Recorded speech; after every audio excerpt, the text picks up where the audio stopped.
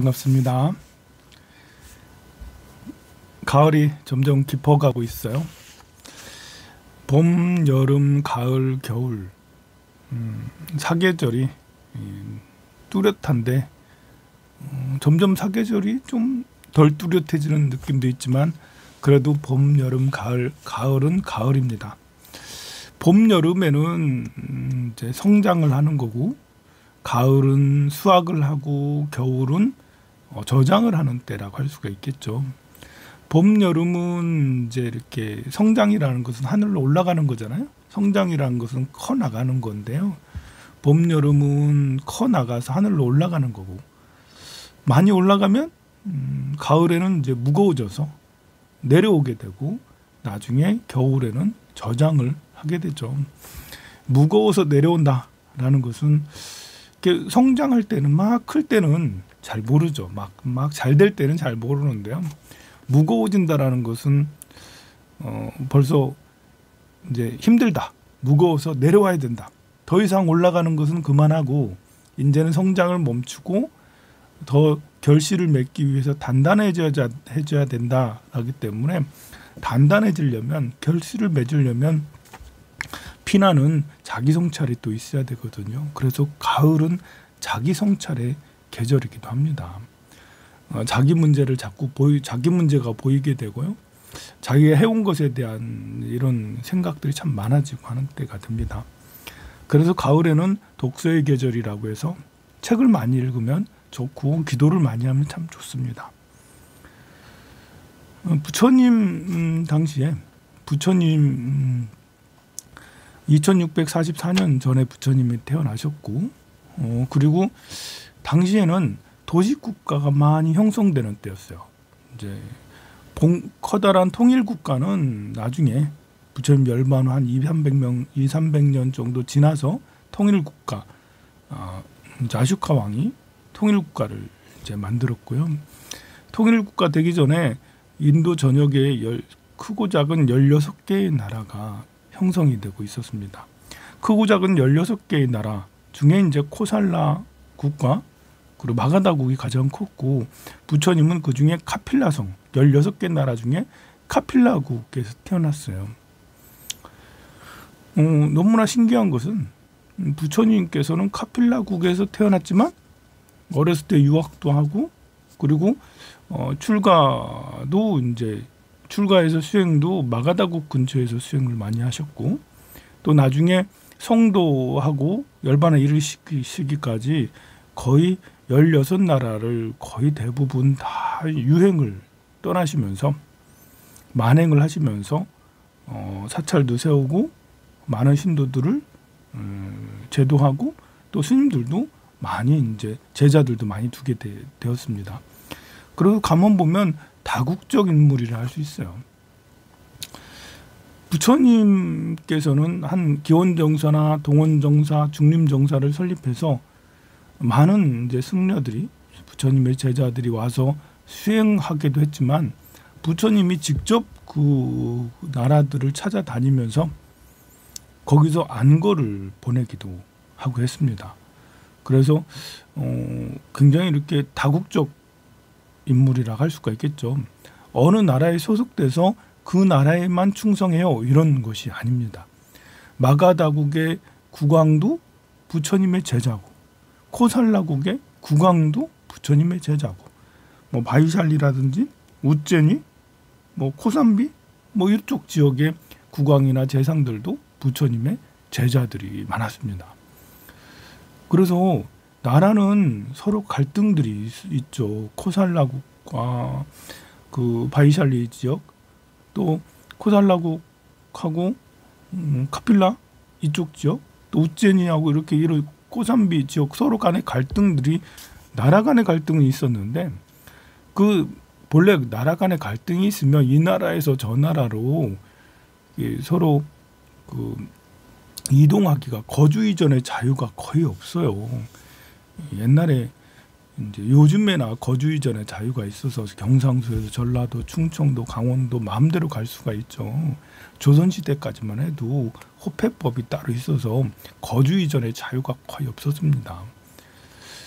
그런데 부처님 당시에 부처님은 어, 출가하셨고 출가자들에 대한 어, 거주 이전의 자유는 많이 허용이 됐어요. 그래서 출가하기 전에도 부처님은 카필라에 있다가 마가다국 쪽에 와서 수행을 하셨고 그 이후로 많은 여러 나라를 다닐 수가 있었습니다.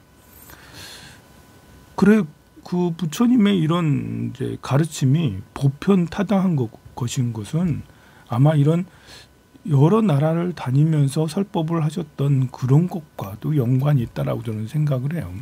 한 나라에 국한하지 않고 모든 나라에 통용되는 보편 타당한 가르침이 된 것이죠. 그래서 국제적 인물이었다. 부처님 당시 부처님께서는 국제적 석가모니 부처님은 국제적 인물이었다라는 걸 알 수가 있어요. 우리가 이제 사람들은 어, 나만 알기가 쉽거든요. 다른 사람하고 관계하는 게 참 쉽지가 않아요. 어, 내가 배고프면 나만 배고픈 것 같고, 내가 외로우면 나만 외로운 것 같고, 내가 슬프면 나만 슬프고 그러잖아요. 그런데 어, 상대랑 같이 있으면, 누군가랑 같이 있으면 그 마음을 이해하고 배려하고 같이 마음을 공유해야 되는데, 이 마음이 공유가 잘 안 되면 서로 갈등이 일어나기가 쉬워요. 싫어요. 쉬워요. 그래서 사람들하고 같이 뭔가 활동하는 것을 힘들어하는 사람들이 있어요. 아니 그 상대의 마음을 이해하지 못하겠고 이해한다 하더라도 인정하기 어렵고 내가 뭔가를 해주고 싶지 않다라는 거죠. 노력하고 싶지 않은 거예요. 사람과의 관계에서. 어, 그리고 힘들어. 그래서 그래서 이제 그렇게 사람과의 관계가 힘들면 힘들수록 자기는 혼자 있고 싶어 하고 그리고 마음이 통하는 사람만 관계하고 싶어 하죠. 그럼 마음이 성장하기가 어려워요. 마음이 편협돼 있고 어, 음, 마음이 건강하지가 않고 약한 상태라고 할 수가 있어요. 그런데 사람과의 관계, 이 사람 A라는 사람하고도 잘 지내고 B라는 사람하고도 잘 지내고 C라는 사람하고도 잘 지내고 비단 그냥 잘 지낸다라는 게 아니라 어, 화합해서 뭔가를 잘 활동을 해서 뭔가를 만들어내고 이런 것들까지 다 잘한다면 이것은 그 상대에 대한 배려, 이해, 그리고 노력 이런 것까지 다 함께 하여야지 어, 갈등 해소 능력? 어, 사람들 혼자만 둘이서만 있는 게 아니니까 다른 사람들도 같이 있으니까 갈등 해소 능력까지 다 갖추고 있기 때문에 그래서 이제 그 사람들이 좀 더 큰 사람, 좀 마음이 좀 더 강한 사람이라 할 수가 있겠죠. 그러면 그 사람은 마음이 좀 넓어요. 마찬가지로 국, 그 국가와 국가를 이렇게 다니면서 이렇게 부처님께서는 어, 수행을 하셨고 제자를 이렇게 제자를 두고 그렇게 했는데요. 그러다 보니까 부, 불교의 가르침이 굉장히 드넓고 광대하다고 할 수가 있습니다.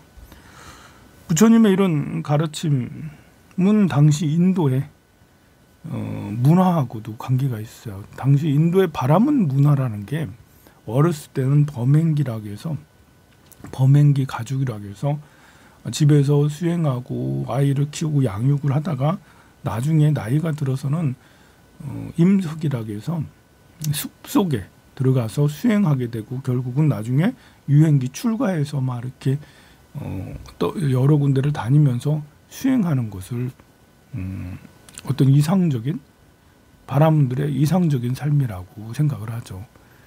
그러니까 속세적인 삶과 출세관적인 삶. 어, 내가 태어났으니까 이제 어린 시절과 그리고 결혼해서 양육까지 하는 것을 우리는 속세적인 삶이라 할 수가 있겠죠. 그리고 속세적인 삶을 떠나서 이상적인 삶, 깨달음을 위한 삶.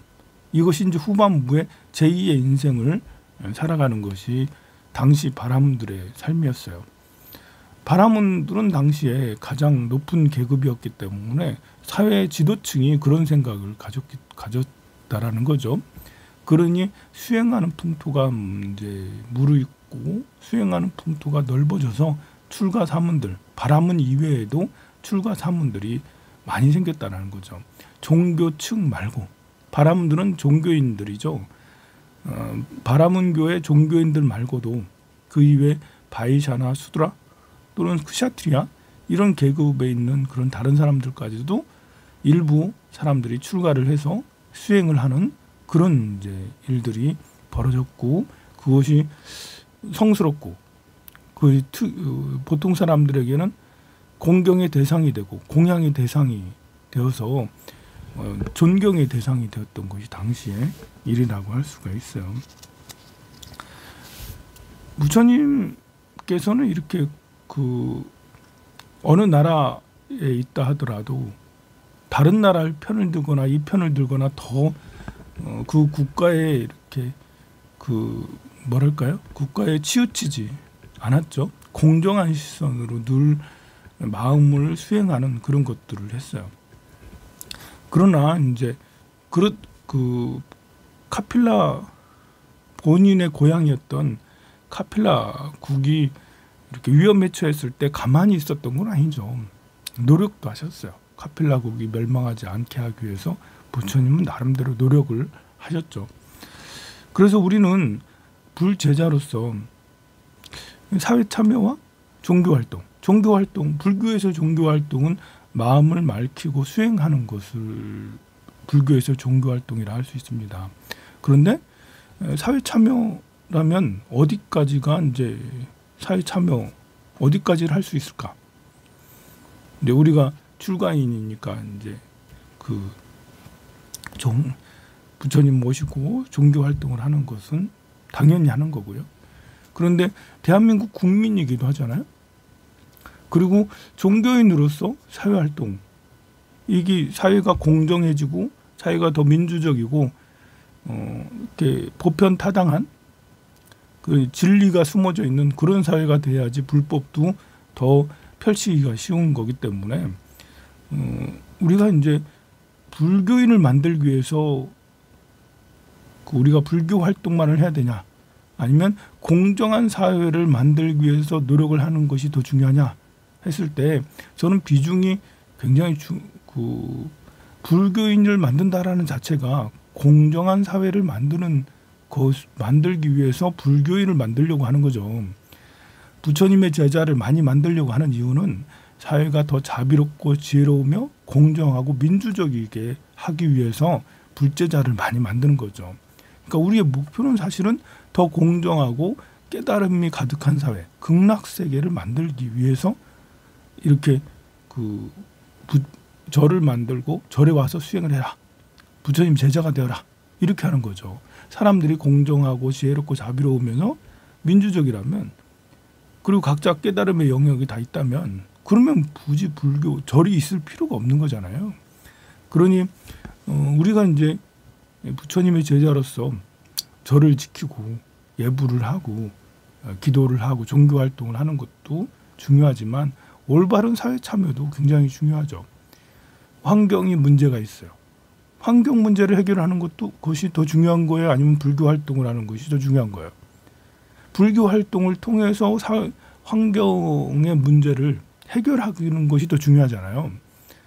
불교 활동이 중요한 게 아니라 불교 활동은 과정이고 결과는 깨끗한 환경을 만드는 거죠. 공정한 사회를 만드는 게 결과 아니겠습니까? 그렇다면 어, 종교 활동을 하면서 사회가 공정하고 민주적이면서 그리고 모두 다 지혜롭고 자비롭게 만드는 그런 활동도 같이 하는 게 좋죠. 그러니까 예불만 스님이라고 절에 절간에 들어가서 예불만 하고 밖에 나오지 않고 수행만 하고 성철 스님이 좀 그러셨죠. 그러셨죠? 성철 스님은 절대 백년암 해인사 밖으로 나가지 않으셨어요. 그런데 신기하게도 성철 스님은 사회에 영향을 정말 많이 끼쳤죠. 그게 이제 우리 사실 종교인들이나 또 사회인들이 스님들에게 바라는 그런 것이 가장 이상적인 방법이죠.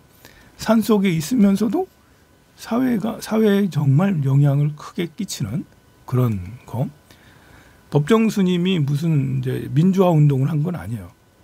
그러나 어, 우리나라에 이제 정말 무소유 정신을 음, 펼치는데 어마무시한 그런 큰 영향을 미치셨죠.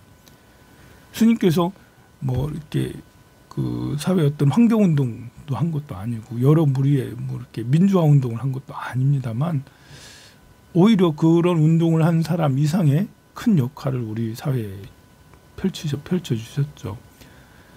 성철 스님이나 법정 스님은 참 이상적이죠. 그렇게 한 분은 수행으로서 한 분은 글을 쓰는 것으로서 정말 이상적인 모습으로 어, 이렇게 그 사회에 큰 영향을 끼쳤는데요. 그러면 그 성철 스님이나 법정 스님이 하셨던 것처럼 그렇게 다 해야 된다? 그게 또 어렵습니다. 예. 그게 어, 그큰 스님들의 그런 능력이 그 산 속에 들어가서 수행을 밖에 나오지 않고 수행을 열심히 해서 사회에 영향을 성철 스님처럼 끼치는 그런 사람은 몇 명이나 있겠습니까? 참 없습니다. 잘 없어요. 또 글을 쓸 그 법정 스님처럼 글도 잘 쓰고 생활을 철저하게 하시는 분이 있을지라도 글을 잘 쓰는 게 쉬운 게 아니거든요. 그것도 또 글을 쓴다 하더라도 세상에 나와서 세상에 출판이 돼서 사람들에게 읽혀지는 것도 쉬운 게 아니고 그래서 특별한 경우 성철 스님이나 법정 스님 같은 특별한 경우를 예시를 삼아서 그렇게 살아라. 그것이 가장 훌륭한 삶이다. 그게 사회에 영향을 좋은 영향을 주는 거다. 가장 훌륭한 삶이라는 걸 알겠는데 그렇게 해서 사회, 사회에 영향을 크게 끼친다. 이런 거하고는 또 거리가 있을 수 있습니다. 음, 스님들의 성향에 따라서 자질에 따라서 다를 수가 있죠. 어, 부처님을 모시고 절에 이렇게 기도를 드리고 이제 신도들을 부처님 제자로 잘 만드는 것도 중요하지만 그분들이 사회에 참여를 해서 더 이상 어, 환경이 더 이제 이렇게 큰 위기에 봉착돼 있는데요. 환경이 더 나빠지지 않고 또 독재나 부정부패, 부조화, 부조리 뭐 이게 너무 이제 만연해지고 있잖아요. 그래서 사회가 더 공정해지는데 더 민주화되는데 또 사회가 더 지혜로워지는데 어떤 역할을 하는 것도 어, 우리 스님들이 해야 될 그런 거라고 생각을 합니다. 뭐 원자력 발전소 뭐 이런 것들에 대해서도 그 원자력이 얼마나 위험한지 그것이 또 효율적으로도 다른 이제 신재 다른 신재생보다도 지금은 훨씬 더 비싼 에너지가 됐고 그리고 핵 사용 후 핵, 핵 연료를 처리하는 기술도 엄청 발전한 것 같지만 절대 발전하지 않았다. 거의 이거를 어, 핵 폐기물을 완전히 이제 연소시켜서 어, 이렇게 친환경으로 바꾸는 것은 꿈도 못 꾼다 아직도 수십만 년, 수백만 년 또는 적어도 300년 이상의 굉장히 긴 시간 동안 그 그것을 이렇게 두, 해야지 없어지는 그런 이제 굉장히 어, 위험한 것이 핵 어, 원자력 발전소인데요. 사실 원자력 발전소는 태어나지 말아야 될 일들이었어요. 핵 요즘에 핵 그 북한에서 핵 실험을 한다고도 얘기하고 또 푸틴은 핵 단추를 누르려고 자꾸 그런다라고 하고 있는데요. 인류 인류가 태어나지 말아야 될 것 중에 가장 이제 일, 순위가 핵 폭탄이죠. 핵 폭탄은 절대 나오면 안 되는 거였어요. 그런데 나와버렸고 이, 나, 이 나온 것을 지금 쓸까 말까 지금 이제 더 만들까 북한은 이제 더 많이 만들어서 개발을 해서 뭐 할까 그러고 있잖아요. 이렇게 나오지 말아야 될 게 나와서 이렇게 했으면 위험한 거예요. 그래서 이제 우리가 러시아 전쟁 이런 것들에 대해서도 촉각을 세우고 어, 굉장히 위기다 이렇게 하는 것들도 역시 나오지 말아야 될 게 나와서 쓰고 있는 그런 것이죠. 무기도 사실은 있어서는 안 되는 건데 예, 총이라든지 대포라든지 없으면 제일 좋죠. 근데 그것보다 더 위험한 건 핵이죠. 원자력도 마찬가지입니다. 원자력이란 에너지를 우리가 써서는 안 될 수도 있죠. 근데 이제 과학이 더 발달해서 음, 이그 핵 폐기물이 나오지 않고 또 어떤 오염 물질이 전혀 나오지 않고 한 상태에서 어떤 것이 개발이 된다면 지금이 중간 과정이라면 그러면 어쩌면 뭐 이런 걸 견뎌내 가서 나중에 어 훨씬 훌륭한 에너지로 발전할 수 있다라고 그런 희망을 갖고 있다면 알 텐데 꼭 원자력이 아니더라도 어, 다른 방법으로 영원한 에너지 또는 굉장히 큰 에너지를 우리는 개발을 할 수가 있을 거예요. 원자력에 쏟는 그만큼의 비용과 그만큼의 시간, 그만큼의 어떤 그 들이는 에너지라면 태양광도 아니면 그 위에 그 왜 이렇게 그 뭐라고 하나요? 핵융합이라고 해야 되나? 뭐 지구 그 태양 만드는 이런 거라든지 그 이외에 다른 이제 좋은 에너지 방법들도 충분히 개발되고 할 수가 있죠. 하지만 원자력은 지금은 너무 무서운 것입니다. 핵만 무서운 게 아니죠. 어, 그 외에 이제 플라스틱이라든지 또 이산화탄소 배출하는 많은 것들 이런 것들에 대해서 우리 사찰의 스님들이 노력을 해야 되겠죠. 저는 대한불교 조계종에서 총문장 종정 스님과 총문장을 비롯한 많은 스님들이 그 운동을 했으면 좋겠어요. 이산화탄소 덜 배출하기. 그래서 플라스틱 덜 쓰기. 그 이외에 다른 다른 어, 거기에 대한 이제 오염 물질 그 미세 먼지가 배출되는 이런 모든 것들에 대해서 경각심을 일으키고 쓰지 말게 하는 이런 일들이 벌어졌으면 좋겠습니다. 우리 종교인들이 그런 걸 해야 되지 않겠어요. 우리가 앞장서서 사회를 맑히는데 노력을 해야 되잖아요. 우리가 이제 민주화 운동을 위해서 뭐 이렇게 누구 퇴진해라 그러지 말아라 이렇게까지 하는 건 약간 오버할 수 있죠. 그러나 환경에 대해서는 음, 우리 스님들이 마땅히 나아가서 해야 될 일이라고 저는 생각을 해요. 뭐 역사 문제에 대해서도 마찬가지죠. 우리 역사가 바로 서야 되죠. 이번에 이제 한 그 의원께서 일본이 우리나라를 침공한 적이 없다. 이제 일제 시대 때를 얘기하는 거죠. 그 우리 조선이란 나라가 너무 부정부패가 심하고 민중의 고열을 빼먹고 이래서 스스로 버티지 못해서 결국은 내준 거다. 라고 그렇게 발언을 했더라고요. 어, 저는 여기에 대해 심한 분노를 느낍니다. 역사 공부를 하신 분인지. 그 당에 이렇게 국회의원이라면 국민을 대표하는 분인데 국민을 대표하는 분이 역사 공부를 기본적인 역사 공부를 하셔 하셔 하셨는지 정말 묻고 싶어요. 충분히 우리나라는 물론 이제 우리나라 군대랑 정식 군대랑 일본의 정식 군대가 맞짱을 떠서 같이 싸운 적은 거의 없어요. 국소적으로 있어요. 뭐 경복궁을 일본 군대가 들어가가지고 뭐 이렇게 에, 서로 이제 그 대치하고 서로 싸우고 어, 그 총, 총을 겨누고 이렇게 한 적도 있고 그렇습니다. 어, 또 동학 난민 동학 농민 운동 때 일본 군대들이 돌아가지고 우리 동학 농민들을 이제 학살을 했잖아요. 저는 이것도 전쟁 일종이라고 봐요. 물론 이제 이렇게 고종 황제랑 민비 명성황후가 잘못해 가지고 일본의 군대를 끌어들여 가지고 이렇게 했는데요. 어, 동학 농민들은 나라를 지키기 위해서 이대로 나라가 이렇게 가기 위해 가면 안 된다라는 그런 사명감. 동학 농민운동은 가 보면 종교 운동이기보다는 에, 나라를 걱정하는 나라를 나라가 올바로 섰으면 좋겠다라는 민중 봉기죠. 그리고 거기에 분명 이 다른 외국 군대를 몰아내는 그런 이제 뜻도 다 있었어요. 그러니 외국 군대, 일본 특히 일본 군대 와가지고 그 동학 농민 운동, 음, 동학 운동을 이제 저지하고 학살을 시킨 것은 거의 전쟁에 가까웠고 그걸 보고 그 동학 농민 운동에 그 동학 농민들이 학살 당하면서 거의 이제 우리 우리 대한민국의 구구는 거의 허물어져 갔다가 할 수도 있거든요.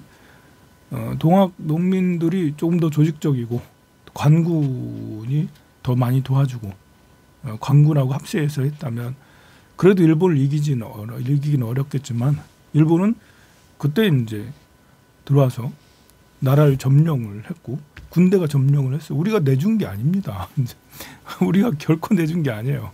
우리가 와서 우리나라 좀 다스려 주세요. 그러지 않았어요. 우리 뺏긴 거예요. 우리가 좀 가난하고 힘들고 어렵다고 내가 우리 집이 가난해. 그래서 대문도 없어. 그 단칸방 몇 방 병 방 몇 개 겨우 살고 있는데 도둑놈이 와가지고 우리 집을 음, 이제 자기 마음대로 휘두르고 막 그 무단으로 침입해서 들어와서 막 한다고 하고 그렇게 하면 그게 합법적인가요? 불법적이잖아요, 그것도. 우리가 이제 이렇게 조선 시대는 너무 이렇게 정치적으로나 경제적으로 힘들었어요. 정말 가난하고 이렇게 부정부패가 너무 심했어요. 그러니까 내가 가난하고 힘없다고 다른 사람이 와가지고 날 때리고 너는 사람도 아니야. 내 밑에 종, 종살이 좀 해. 이렇게 한다고 그게 정당한 건가요? 아니잖아요. 내가 어렵고 힘들어서 힘들고 괴로운 것은 내 문제지. 그걸 가지고 나한테 와가지고 네가 나보다 좀 못하니까 내 밑에 있어. 그리고 나한테 복종해. 나 내 밑에서 노예살이를 해. 이렇게 하면 그것이 이제 제국주의적 어떤 침략자, 도둑놈이죠. 침략자죠. 어, 그래서 그 사람 밑에 있다 보니까 밥은 얻어먹었어. 맞아가면서. 뭐 조선 후기에 이제 굶어 죽는 사람 또 병들어 죽는 사람이 더 많았는지 일제 시대 때 병, 병들어서 굶어 죽는 사람이 더 많았는지 모르겠지만 최소한 조선 시대에는 국권이 있어서 남의 나라 사람들한테 짓밟히진 않았거든요. 그러나 일제 시대 때는 더 배불렀을 수는 있지, 있겠지만 국권을 빼앗기고 이렇게 자유가 없잖아요. 우리 우리 대한민국 사람들이 뭘 해낼 할 수 없었잖아요. 예, 모든 것은 다 통제되었고 그 조선 통 총독부가 다 관리했기 때문에 그거를 우리가 더 나은 삶이었다. 밥을 조금 더 더 더 먹었다. 더 나은 삶이었다. 결코 그렇지 않거든요. 조선 후기에 고종 황제가 많은 개혁 정치를 했어요. 당시에 어 뭐 시내에 있는 철도를 뭐라 그러죠? 시내에 있는 철도도 거의 세계 최초는 아니지만 세계에서 아주 가장 빠르게 설치를 했고요. 나름 어, 성, 성공할 뻔한 개혁 정치들도 있었어요. 그래서 어, 고종이 고종이든 아니면 고종 이후에 민중의 봉기가 있어서 새로운 정치 체계가 들어서서 우리나라에 새로운 그 정치 바람이 불고 이렇게 해서 했었다면 더 발전할 수도 있었죠. 역사란 것은 가정할 수 없지만 어, 일제 식민지 치하의 발전이 얼마 몇 프로 발전했는지는 모르겠어요. 하지만 식민지를 해서 했기 때문에 그래도 대한민국의 이런 근대화 작업이 되었고 대한민국이 이만큼 어, 해방 이후에 될 수 있었던 것도 이마 지금의 이제 대한민국이 된 것도 일, 일제가 근대화 시켜놨기 때문에 그렇다. 라고 주장하는 것은 그야말로 이제 그 억측이죠. 우리가 우리 방식으로 해서 훨씬 더 이렇게 1920세기 초를 훨씬 더 더 잘 꾸며낼 수 있고 훨씬 더 좋은 정치를 만들어낼 수도 있었던 거예요. 그러니 그때 근대화 시켰으면 얼마나 근대화 시켰어요. 그 남 밑에서 자유를 잃고 식민 통치를 당했는데 민중의 근성이 정말 저는 그때 우리나라가 이제 참 좋은 분들이 많지만 저는 어, 어떤 그 일제 치하의 식민지 근성이 아직도 남아 있다. 또 어, 독재 치하에 군사 독재 시절이 있었잖아요. 군사 독재 시절 독재 치하에 그런 독재 치하의 어떤 근성 이런 것들이 아직도 남아 있다 라는 저는 저는 그렇게 생각을 해요. 식민 통치를 경험한 자체가 우리에게 우리 의식에 엄청난 오염이에요. 내가 자주적으로 살아야 되는데 다른 나라에게 침입 인도라는 나라가 얼마나 훌륭한 나라입니까? 대단한 나라죠.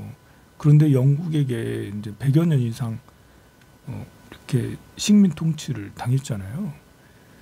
저는 그 식민 통치를 100여 년 이상 또 2, 300년씩 막 이렇게 당하는 그런 것이 그 이후에 그 나라들이 제대로 막 성장해서 잘 나가는 나라가 잘 없어요 보면 왜냐하면 식민 통치라는 것이 그 나라 사람들의 근성을 굉장히 이렇게 질 떨어지게 만들기 때문이겠죠. 다른 나라 사람들이 와서 우리나라를 이렇게 통치한다? 그러면 차별을 하죠. 노예를 만들어 버려요. 사람들이 유능한 사람이 다 질이 없이 다리 질이 멸렬하게 만들죠. 식민 총치를 당하면 그 나라의 사람들의 자질이 50% 이상 팍 떨어지기가 쉽습니다. 이제 개인하고 국가랑 다르잖아요. 어린 아이가 있어요. 어린 아이가 엄한 부모 밑에서 독재 치하의 부모 밑에서 사, 살아봐요. 조금만 뭐 해도 맨날 혼나고 너 그렇게 살아서 뭐가 될래? 할 줄 아는 게 뭐 있어? 그렇게 사느니 나가 죽어라. 야, 그, 이러면서 막 이렇게 아이를 키운다면 그 아이는 늘 이제 살얼음판 걷듯이 늘 공포에 찌들려서 늘 차별에 찌들려서 길을 못 펴고 있어요. 그 아이가 나중에 성장하면 어떻게 되겠습니까? 그런 환경에서 자란 아이는 성장에 성공하기가 매우 어려워요. 백에 하나 나올까 말까 성공한 아이가. 그렇게 독재 치하에서 너무 엄한, 너무 폭력이 심한 그런 부모 밑에서 자라면 나이도 나이가 성장을 해도 성인이 돼도 이게 참 힘든 삶을 살게 돼요. 국가도 마찬가지죠. 국가도 다른 나라의 통, 통치를 받으면 노예 취급을 받기 때문에 대부분의 사람들이 자질이 팍 떨어져요. 그래서 해방이 됐다 하더라도 한동안 길을 못 펴죠.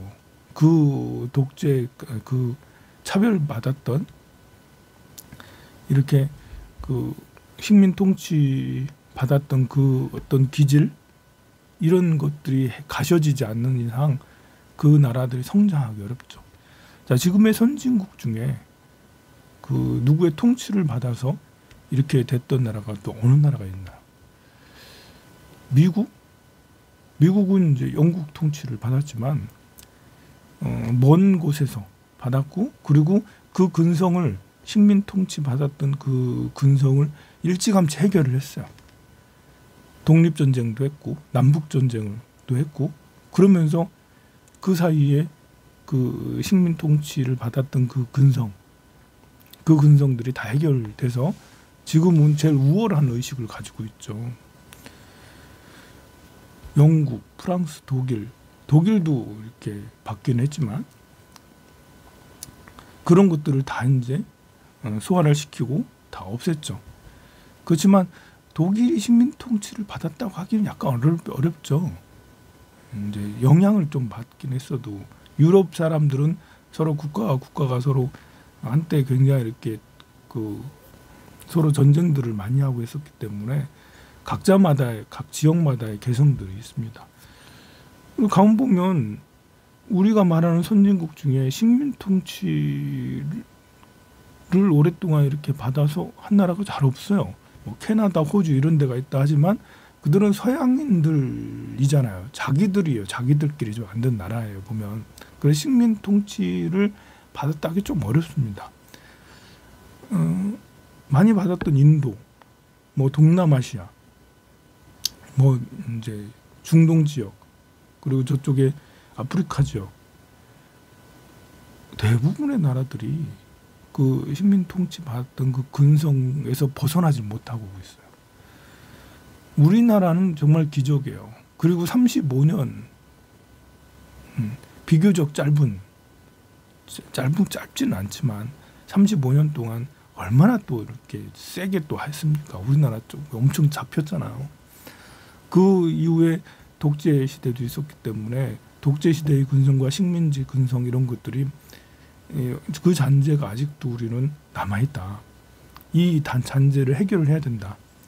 그것을 끊어야 되는 음, 것이 지금 현재 중요한 것이라고 저는 생각하는데 그 이후로 어, 많은 노력을 해와서 이만큼까지 왔습니다만 음, 아직도 멀었다고 보죠. 바로 대단한 정치인께서 그렇게 조선 후기의 그런 것들로 인해서 당연히 그 일본이나 다른 나라들이 와서 우리나라를 다스리는 건 당연한 거다라고 하는 것처럼 얘기를 했다니까 했으니까 이거는 제가 아무리 종교인이라 하더라도 여기가 불교 방송이긴 하지만 그래도 이거는 대단히 아 정말 이제 대한민국 국민으로서 어, 이거는 굉장히 분노하지 않을 수 없는 그런 일이라 생각을 합니다. 자, 부처님의 가르침은 공정하고 자비롭고 드넓습니다. 우리 이, 이 항일 운동했던 이제 불교가 조금 다른 종교에 비해서 보수적이에요. 국가의 충성을 많이 하고 그러는데요. 그래서 어, 일제 시대 때 우리 불교도 이렇게 항일 운동을 많이 했었으면 좋겠는데 의외로 이렇게 항일 운동을 많이 하진 못했어요. 어, 대표적으로 이제 만당이라는 조직이 있었는데요. 항일 운동을 하는 당시에 백성욱 스님이나 김범린 스님, 이용조 스님, 최범슬 스님 이런 젊은 스님들이 모여서 비밀리에 이제 그 서로 모여서 항일 운동을 했던 단체가 만당이라는 것이 있습니다. 이 1930년대에 이런 암울한 민족의 이 앞날을 걱정하고 이를 타개하기 위해서 결성한 비밀 비밀 결사 단체인데요. 그 나중에 중일 전쟁 이후에 일본 경찰들에게 체포되고 구금돼서 고초를 당하기도 했습니다. 어, 우리 불교는 조선 총독부에 거의 장악됐어요. 그 31개의 본산을 만들어서 조직을 전국에 있는 불교를 일원화시켰어요. 전국에 사찰들이 수천 개 있잖아요. 사찰 그 전수 조사를 다 하고 그 지역마다 어, 본사를 두고 그 본사가 그 사찰들을 관리하게 했죠. 그래서 이제 뭐 이렇게 해인사 같은 합천이나 의령 또 거창 이쪽 지역은 해인사에서 관리를 하고 불국사는 이제 경주, 포항 이런 데는 불국사에서 관리를 하고 또 부산, 경남, 범호사에서 관리를 하고 또 울산이나 이제 양산 이런 거는 이제 통도사에서 관리를 하는 이런 체제가 조선 총독부가 만든 체제예요. 그러니까 사찰들을 실로 꿰듯이 다 꿰어놓은 거예요.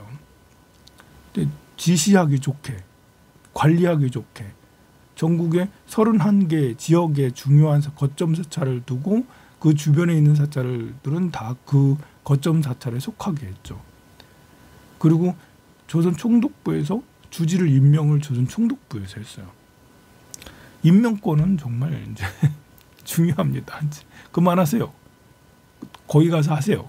누구 하세요. 이렇게 하기 때문에 해인사 주지를 해인사 스님들이 뽑는 게 아니고 조선 총독부에서 네가 하세요라고 인가를 해줬어. 물론 해인사에서 어, 이렇게 스님들이 추천해서 이 스님께서 했으면 좋겠습니다라고 해서 올려서 이제 저 총독부에서 인가를 받고 그렇게 하지만 총독부에 밑보이면 그 사람 안 되는데요? 다른 사람이요. 이렇게 이제 심지어는 이 사람 시켜 이렇게도 했었단 말이죠.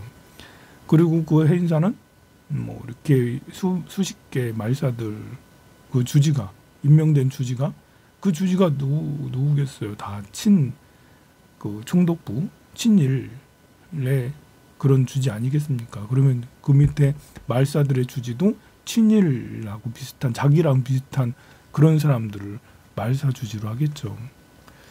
우리가 종교인이기 이전에 대한민국 국민으로서 자긍심을 갖고 종교 불교라는 종교 뭐 기독교라는 종교는 어떤 정체성이기보다는 그 종교 활동들을 더 중요하게 여기는 중요하게 여겨요. 그래서 어, 민족 정신이 없으면 우리나라가 뭐 어떤 위험에 처해도 나는 부처님만 잘 모시면 되지. 나는 하나님만 잘 모시면 되지. 이럴 수가 있거든요. 어느 것이 더 훌륭하다고 할 수는 없겠지만 그래도 어, 대한민국에서 태어나서 대한민국 사람이라면 종교인 이전에 대한민국 사람이죠. 그래서 어, 옛날부터 우리나라 호국불교라고 한 것도 내가 종교인이기 전에 신라인이다, 고려인이다, 조선인이다, 대한민국 사람이다. 그러니 임진왜란이 일어나면 당연히 우리가 나가서 승군을 조직해서 일본을 물리쳐야지. 이것은 이제 사실 우리 계율하고 종교인들의 계율하고 반대거든요. 종교인들은 무기도 쥐면 안 되는 거예요. 근데 무기도 쥐면 안 되는데 전쟁에 나가서 이렇게 그, 그 살상까지 했으니까 그러면 이제 이거는 개를 내놓고 완전 환속을 해야지 마땅한 일이거든요. 하지만 어, 저는 이제 그렇게까지 하는 것은 뭐 그 생각을 해봐야 되겠지만 종교인이 전에 대한민국 사람이다. 그래서 대한민국이 더 공정해지고 대한민국이 더 훌륭해지고 대한민국이 스스로 주체적으로 이렇게 민주화가 되려면 다른 외세 세력에게도 밀리지 말아야 된다. 저는 미국에게도 밀리지 말아야 된다고 생각하고요. 중국이나 일본, 당연히 러시아 밀리지 말아야 되죠. 우리가 나라는 작고 힘은 없지만 그래도 배짱 하나는 가지고 있어서 대한민국 국민으로서 배짱을 가지고 우리가 우리가 눈치 볼 게 뭐 있어요?